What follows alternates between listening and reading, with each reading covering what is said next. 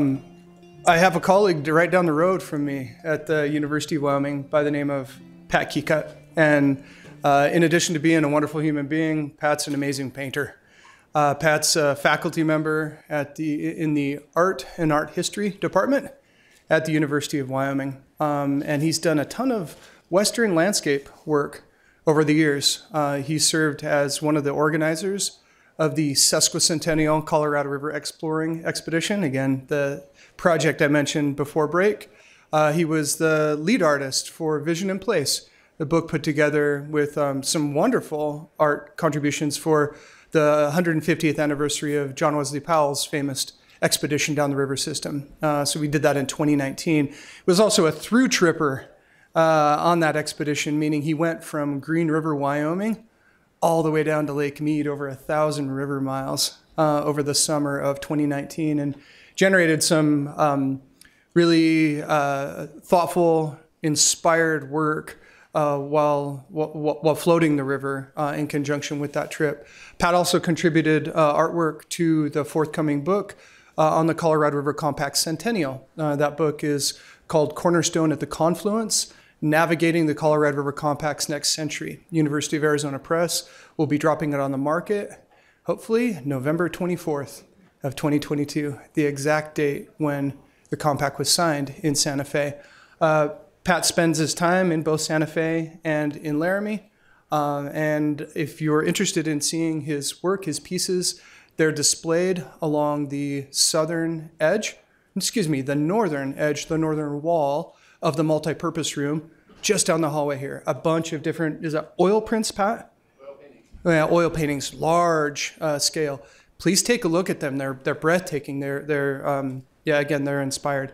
So uh, on that note, allow me to uh, introduce or, or uh, seize the podium to uh, my colleague, Pat Kikut.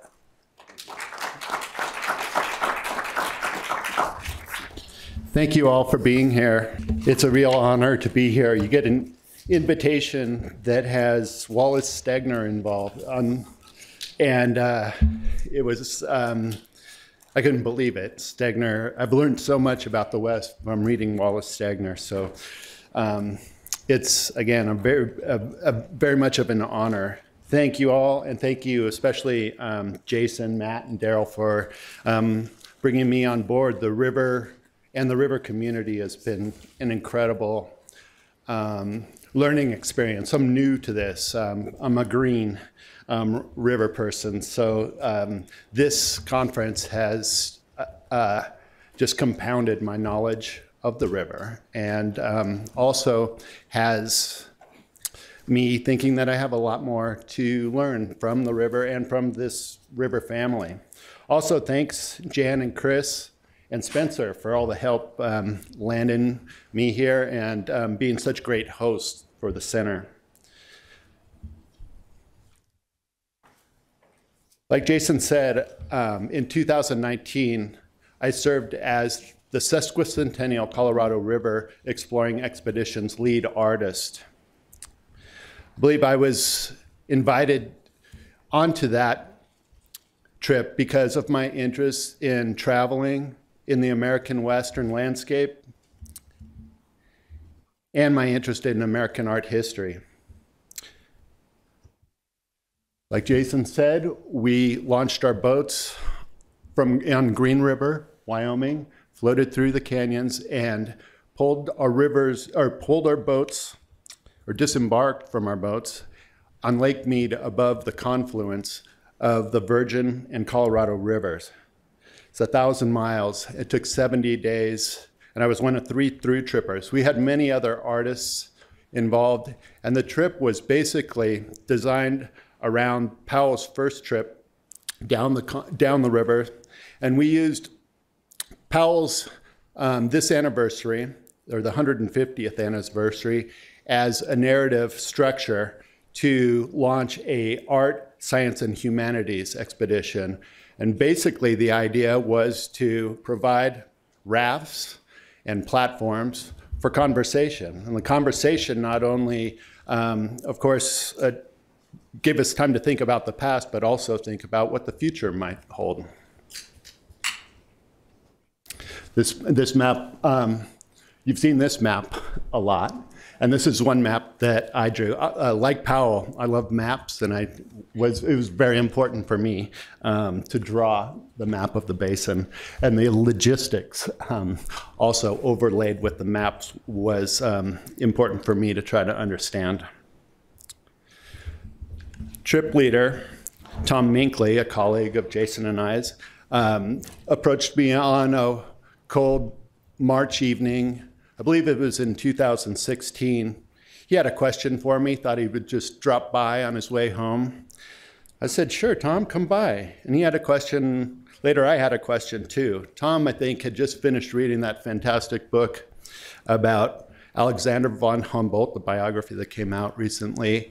And in that book, um, there's, a, there's, a, there's a passage there where von Humboldt um, critiqued Thomas Jefferson and kind of maybe pointed his finger at him and said, You never should have let, let Lewis and Clark out there without a trained artist.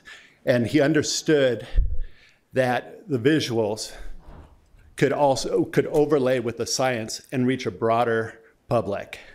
And we just mentioned, or we just heard um, how important that is with Brad Udall's comments about how important it was for the people on the Front Range to see that grassland um, burn the Marshall Fire in December. Incredible. And so, um, not only the actual um, witnessing of the landscape, but as artists, we are responsible for making visualization, making um, at least in my case, um, holding a mirror up to not only the beauty of the American West, but also the realities that we're facing. So I said yes to Tom's question quickly and um, knew I had a lot to learn. I had one question for Tom, and my question went to him was, do you have your permits? And he said, yes, I'm pretty sure he had um, a few permits and had his fingers crossed behind his back. This, this image in particular um, is important, and it helped, um, I believe, the environmental movement of the 1970s gain a holistic um, view of planet Earth and understood what a special planet we live on. And away we go. I had a lot to learn. Again, I was very, very green and um, was excited to face um, all of the challenges that traveling through the canyons might offer. This is an earlier trip um, from the 2019 trip. Um, but there I am with Tom going through the Grand Canyon. I learned how to connect my hat to the back of my um, collar. Where we go. Whoops, I advanced this. So John Wesley Powell also um, learned his lessons from von Humboldt and quickly um, recruited Thomas Moran to um, join him on the second trip down the canyons. This, this, is a, uh, this is an important painting by Thomas Moran, who has just landed this painting.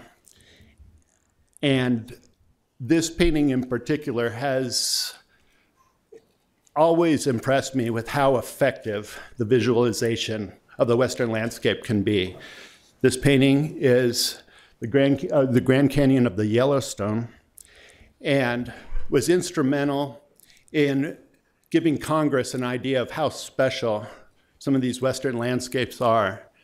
And what Congress understood for the first time in a Eurocentric governance, governance was they recognized that Yellowstone or certain landscapes had an aesthetic value or biological value, and that value outweighed the value of the natural resources that could have been harvested from that landscape.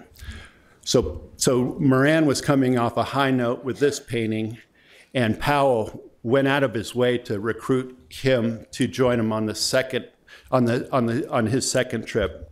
I think I think uh, from all of my research, uh, Moran, Thomas Moran was um, a European trained painter, and he didn't spend that much time on the river itself. So I had a backup plan if things weren't working on the on the scree trip, where it's just like, hey, get me to Moran Point, and uh, I'll go by land or by horse. But anyway, I was I'm a river. I'm I, I wouldn't have left the river. Um, But anyway, in the back of my mind, I had an exit strategy. And so this painting actually complemented the first painting I showed you and um, is in a fantastic painting. I always thought that, that the paint, this painting was um, particularly interesting because it looks like the rain is kind of raining upwards, and we witnessed that in the Grand Canyon. So he, Moran wasn't just making these things up. So Moran and these visual images helped um, protect some very important landscapes. So many painters, um, like Thomas Moran, um, came out west, brought tremendous skills, again, uh, European trained, uh, trained artists, and um, used the Transcontinental Railroad that came through Laramie and um, came over the Green River. Um, this painting is of the Green River. Again, another Thomas Moran painting of Green River Buttes. Interstate 80 blasts right through that butte now. And um, like um, Powell and Moran, we use the same launching point and use the same, basically the same route out to Green River, Wyoming. The railroad, um, kind of overlaid with um, manifest destiny. It tilted the scales on the war against Native people. And um, strangely, you know, a, a, way to think of these paintings is that I've thought of is not only did they help protect some landscapes, but they also kind of encouraged manifest destiny and some exploitation of the West. Moran ended up working for the railroad later on in his life. Although Moran is an incredible oil painter, I was really, I'm mostly impressed with his field drawings. Field drawing is difficult. Um, conditions are challenging, and it's overwhelming to find a spot to set up and make a composition. The space is so gigantic, there's so many details, and the thing that draws me to Moran's work in particular is his delicate line, his accuracy on the, de the details of the horizon line and the geology, but also a sense of what not to put into his paintings. There's a minimalism in his drawings that was really attractive to me. Absolutely impressive. And I was thinking about it last night. The areas that he decides to leave kind of undeveloped, I believe, is effective in that they speak to the quiet and the immense space that we experience in the West. Here's another example of Moran's field drawings. Excellent use of watercolors. His color, he's a colorist that, that borders on the fantastic until you get out there and you actually see these kind of things in the sunset. I've traveled wide and far to dig into archives um, and look at these and handle these um, Moran field drawings. Uh, the Gilcrease Museum in Tulsa, Oklahoma has been um, real generous opening their doors for me, as well as Yellowstone National Park Archives, which I should note is on its 150th anniversary.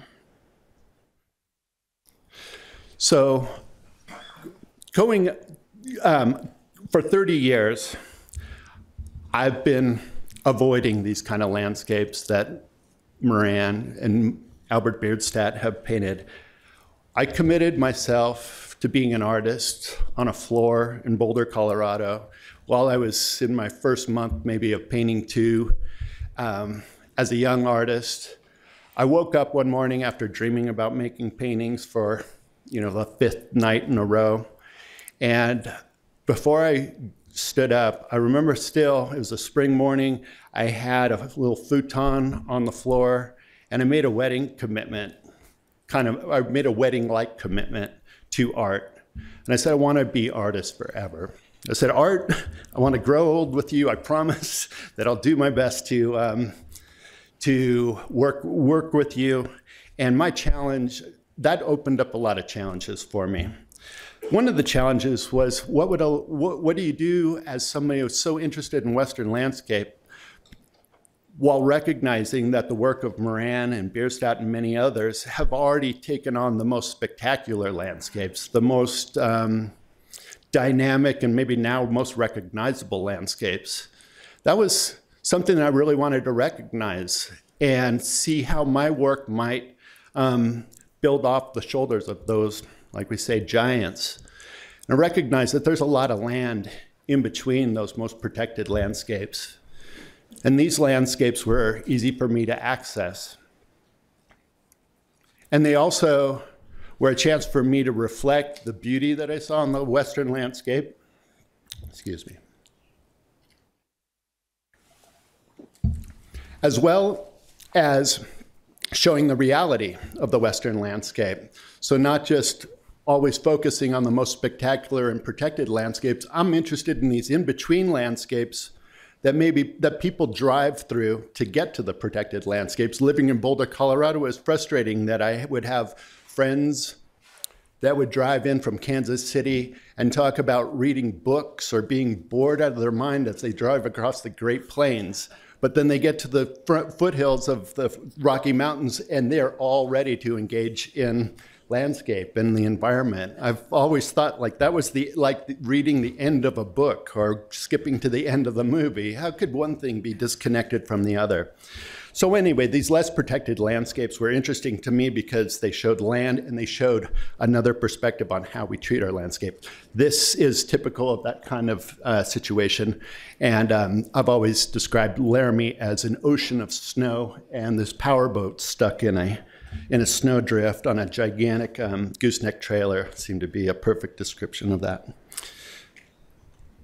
So I've spent a lot of time by myself alone in lonely places, working as a solo painter. There's nothing more alone than one, a painter studio. you just walk in and nobody says anything and you just do your job and you make a painting. Um, it's a very quiet existence, especially if you're spending time in places like this. If you can believe this, this is um, a place that I um, made paintings. This is the high point of, I believe this is Kansas. So this is Mount Sunflower in Kansas. This is a trailer that I pulled. It's called the Mobile Research Studio, also known shortly as the MISSES. So this is how I typically um, move around. I my, my artistic practice has a gigantic carbon footprint. My artistic neighborhood, or where I operate, goes from Great Falls, Montana in the north, east to Dodge City, Kansas. And I got to say thank you to Wallace Stegner for helping me understand the eastern boundary of my neighborhood on the 100th meridian. And south to El Paso, and now Marfa, Texas. This is from the Llano Estacado in eastern New Mexico. And west out to uh, Reno, Nevada. This is actually east of Flagstaff up of Interstate 40. Many of my paintings before the scree trip, um, I, I kind of describe as like empty stage sets where the actors have had an action, a play, an engagement, and they've abandoned the stage and left their props sitting there for a viewer to approach and maybe kind of construct what kind of narrative might have happened at that point. Oftentimes they kind of look like crime scenes and oftentimes they kind of are. So Scree offered me a lot of challenges. Um, first challenge was to step away from my truck and the misses and learn how to rig and row a boat. But there were also conceptual challenges and compositional challenges and, and, and social challenges for me. Conceptually, these spaces, the Grand Canyon, Dinosaur, um, Canyonlands, were the kind of landscapes that I've been trying to avoid, figuring that those image, those artists and photographers had already done a really great job describing those landscapes.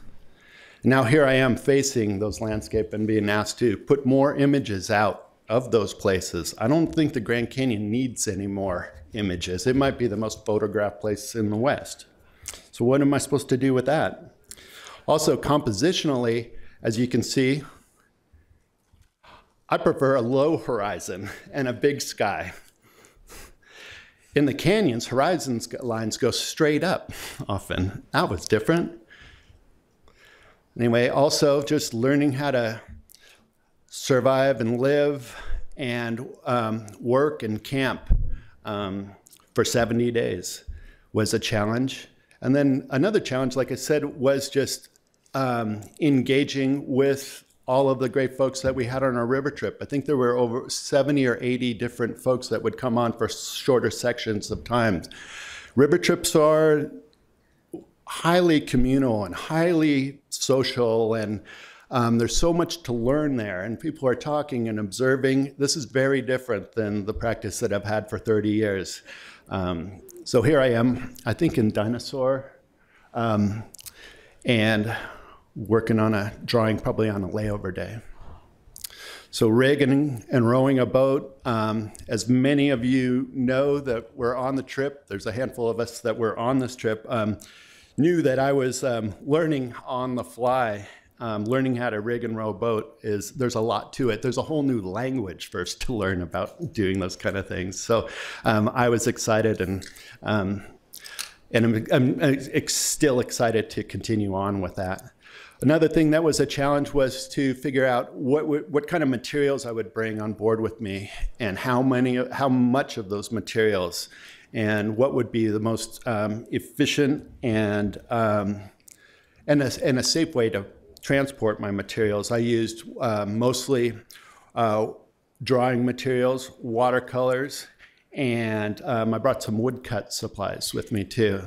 So you can see here um, my setup. I've got a dry box here in the top uh, left-hand corner, and that's where I um, had my sketchbooks and some more, uh, some nicer watercolor paper that I would use on water on layover days. So you can see me working on what I would call more refined um, field drawings. So on layover days, I would break out my watercolors and kind of rework some of my daily sketches. One thing that I thought about um, with my system here, again, I was learning on the, on the fly, was maybe, it, and this occurred to me, oh, perfect timing, um, John's here.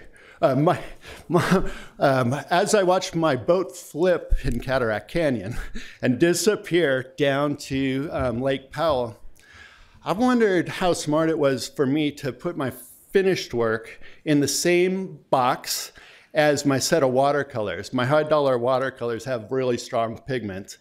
And I wondered when we flipped my boat back over and opened up my dry box if my finished drawings from the, all the way from the upper basin down to lower basin at that point would be kind of in a not so dry box. And my watercolors would be um, kind of floating around in a tie-dye um, mix of pigments. And the, and the river could have uh, helped me um, paint those or change those paintings quite a bit.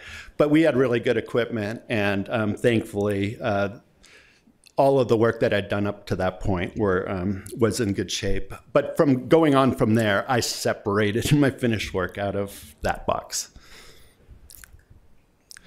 This is an example of a, of a daily drawing. Quickly, I realized that the best place, I would, um, I would put a rigorous kind of schedule on for myself.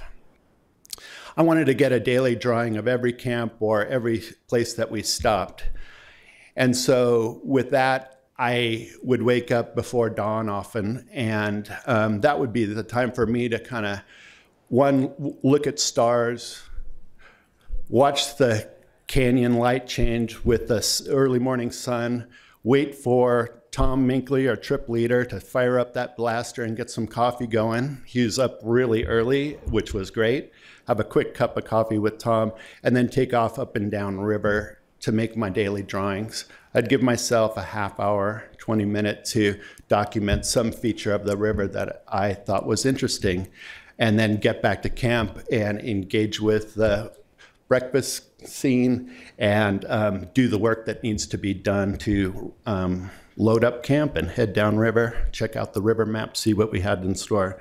Later on in the day, as many of you that have spent time on the river, isn't as predictable as the morning sessions. So um, I felt like I could get a drawing done in the morning, and everything after that would be gravy.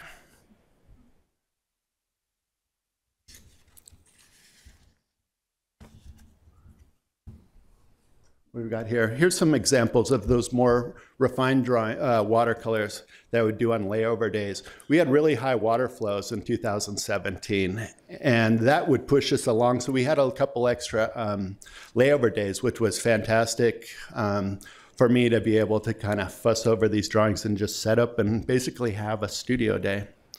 And this is the kind of work I would do here.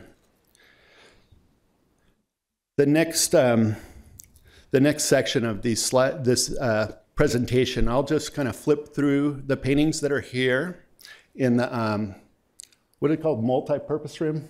Yeah, and so these paintings um, in this presentation and as they're laid out in the multi-purpose room are in sequence, going from um, Wyoming all the way through the canyon. So I'll just flip through these images and um, talk to you a little bit about um, them. So I had over 100 field drawings to choose from. I, didn't, I knew not all of them were worthy of an oil painting. So I had to choose a few to kind of best represent the sections of the river. I know we've heard a lot about the upper and lower basins. In my mind, I had the rivers kind of broken up into three different sections. The first section being roughly from Green River, Utah, through Dinosaur, Uinta Basin, and Desolation and Gray's Canyon to Green River, Utah. So that's what I would call the upper section. And then there's a middle section, Green River, Utah, through Canyonlands and over Lake Mead. I'd consider that the middle section. And then the lower section being the Grand Canyon and out onto Lake Mead. I'm sorry, the, um, the middle section included um, Lake Powell, which we um, started calling Reservoir Powell just to be more consistent. There were people that we met in houseboats and in marinas on um, Reservoir Powell that didn't even know that it was a river. And it wasn't, it was a reservoir. But anyway, we found a lot of confused people on Reservoir Powell. So um, this is from um, Flaming Gorge Reservoir, one of our first camps um, when we launched from Green River, um, Wyoming. Uh, we were getting snowed on the day before we were launching. I mean, snowed on and blown on. The day when we launched, there was sleet and hail. And we floated for 11 miles before we hit flat water and needed to be towed across um, Flaming Gorge, Portage, the, the dam, Flaming Gorge Dam. And then we were free. We had uh, five or 600 miles of open water. One thing that you can notice in this painting is that the, the mood and the sky um, is kind of gray and steely like it is um, up in Wyoming at this time. So I wanted to make sure that my paintings not only reflected the landscape, but also kind of the mood and the weather. We had about four days of winter on our trip, maybe one day of spring, and then we had summer, and we had deep summer, and then deeper summer. This is in Dinosaur near um, Jones Hole. These two pines I thought were sweet. And you can see that field drawing that I had earlier. This is a translation of that. I learned a lot about the color burnt sienna in this trip. And um, that can go a lot of different directions. You add a little yellow to it, you make it go one way, you can add some blue to it and get some nice violets. But burnt sienna was the, the key factor for the canyon.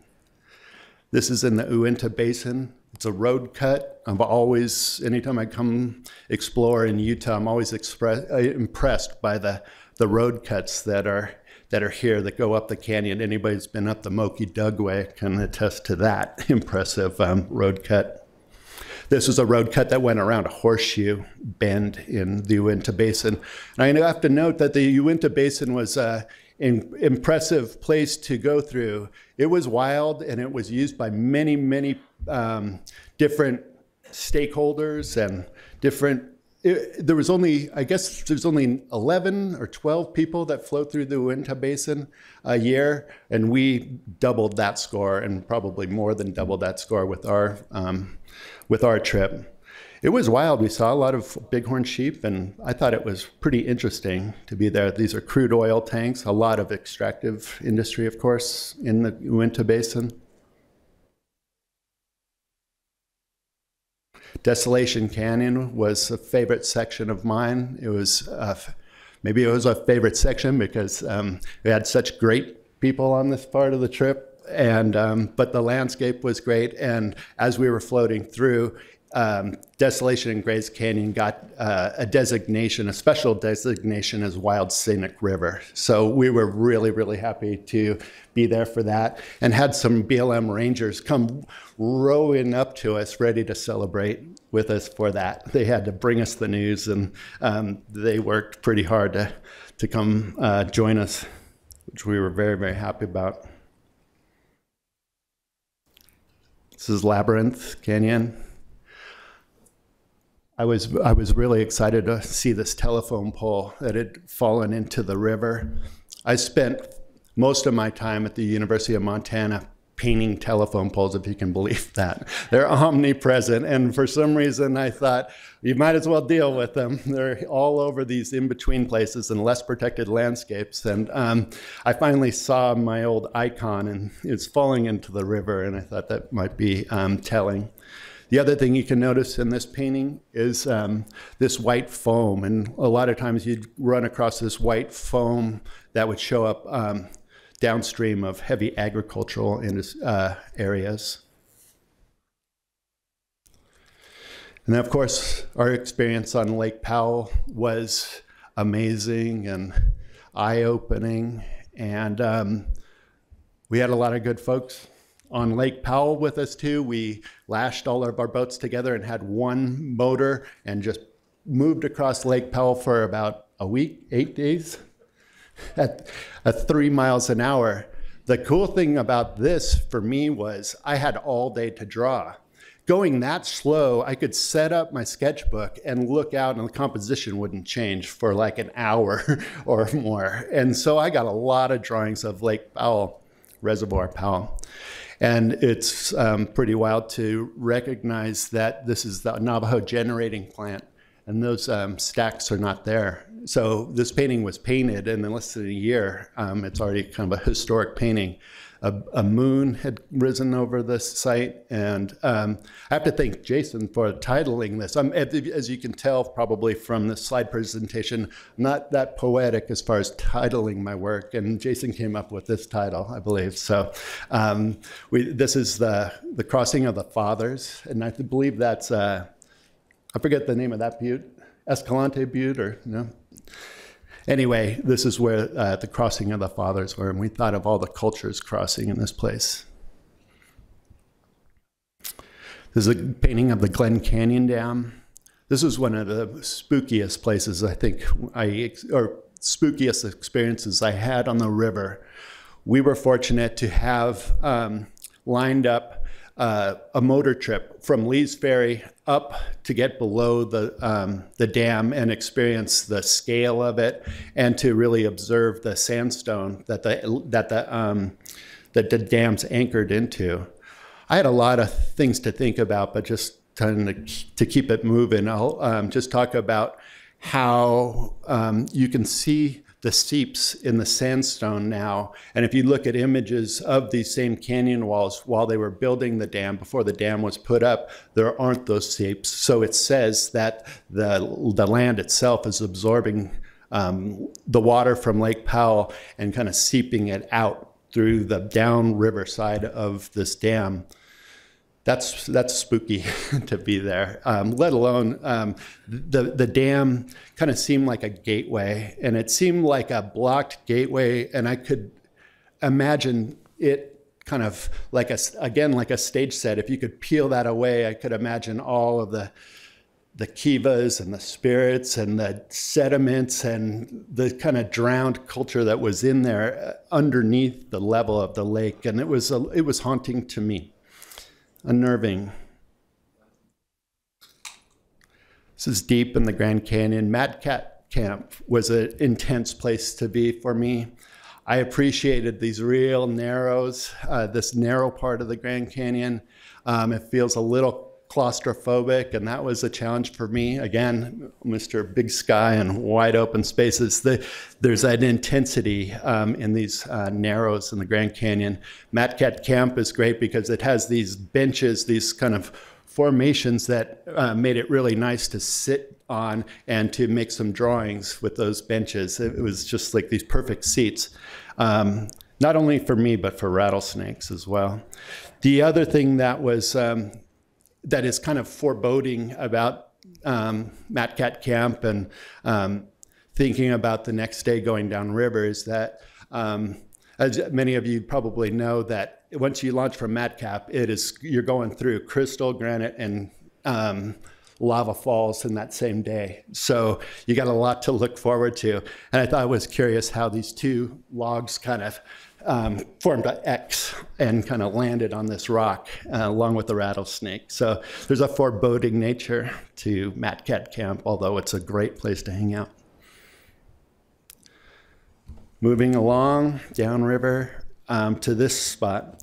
So we um, made it our intentions to motor out onto Lake Mead. And with our GPSs, we found um, the location of where the natural confluence of the Virgin and the Colorado River would come together. And right at that point was this, um, we called an unmarked buoy floating right there. And it was just the strangest, surreal thing to have this kind of, it looked like an unmarked grave or something. We thought, I thought of it as an unmarked grave, this kind of, this marker for this thing that had been lost. I was lucky to find out yesterday from somebody here that this is actually a USGS monitoring um, buoy that monitors the evaporation rate. So thanks, um, Mina, I believe, told me that yesterday. So, um, so, so, thanks. I'm still gaining information from the river community. So thanks for that. Um, it was it was a it was a strange and place to end a river trip for sure. Um, but I was happy to have it there as a, as a marker rather than just nothing there. This is a painting of our last camp on Lake Mead. We spent the last night on the Nevada side of Lake Mead, and it was really unnerving. I got used to a lot of things. I got used to everything on the river. And now here we were camped on kind of a trashy, remote bank of Lake Mead.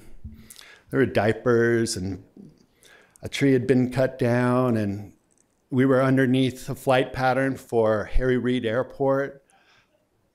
The sounds of the machine of our culture was present. I could hear trucks going up and down I 15. I could hear the machines of air conditioners and all the things that we plug into were evident. Our, the river and the canyons were so quiet, the night skies were so dark, the sound of the river was the only thing that you would hear. And this was just such a different experience. Low water levels, it was hot, and mostly just the, the, the vibration of our cultural machine that was working was unnerving. It was hot, and I could um, I've imagined continuing on downriver. I really wanted to con- continue. I missed Tracy, my wife, and I missed ice cubes for sure. But I really felt like I wanted to continue on and watch the bubble line kind of hit the sandbars down by Yuma, maybe, and just land our rafts onto some dry bank and walk away from them at that point. Reentry's rough. And reentry in 2019 is really rough. So I wanted to make this painting from downriver. This is off of the scree trip, but for me, kind of completed this the the cycle. And this is Bullhead City, flags at half mast. This was actually painted before we launched. The culture and um, the the government had been shut down for the border wall. There's um, a for, I saw a formation of um, military um, jets kind of flying up to Nellis Air Force Base and thought, wow, this is again another image of kind of a, a the noisy uh, reentry culture that I that we emerged out of. Since being off, since finishing those paintings, I've worked on this um, on, on a series, and I have many, many of these kind of paintings. But while we were floating down the river, it was so hard to imagine all of the work that we put to, into making it through the rapids and landing it on beaches and working with the forces of the river, just the power of the river to create those canyons and to float us um, downstream is hard not to imagine. Where does all this water go? We know there's 40 million people in the lower basin, but I could close my eyes and I could imagine all the little roots down in the agricultural districts down by Yuma and the Imperial Valley, drawing that water up into the plants and into the fruits. And those fruits being packed into boxes, those boxes going into trains and trucks and being distributed throughout the country and throughout the world. Being distributed six floors up in the Stegner Center, and we've been enjoying those melons and limes and watermelons and peaches and microgreens right here thinking that we all take a bite out of the Colorado River, that it's sacrificed. And coming from New Mexico, I had to throw in a green chili cheeseburger. I know a lot of alfalfa is grown, and that alfalfa magically turns into burgers and cheese, and uh, of course, green chili. And um, for Colorado, I've got a Coors Light there, right? Tap the Rockies. So, um, so this is the series that I've been working on um, th- throughout the later part of the pandemic, and it's been really great to kind of step away from the burnt sienna and get into some of these tropical colors, getting to play oranges and greens off of each other. So that's how I've landed um, my work here, and um, I am excited to move forward. I although I've been on the road for 30 years, I think a lot about the river. I talk about the river and talk about hopefully getting the next permit and continuing on with more adventures down the river. It's the way to go. I've got a lot to learn, and I want to continue that. I'd be happy to answer any questions. I don't know if we're doing Slido or um, straightforward questions. We probably should set up for the next. Okay, time to go. All right, thank you.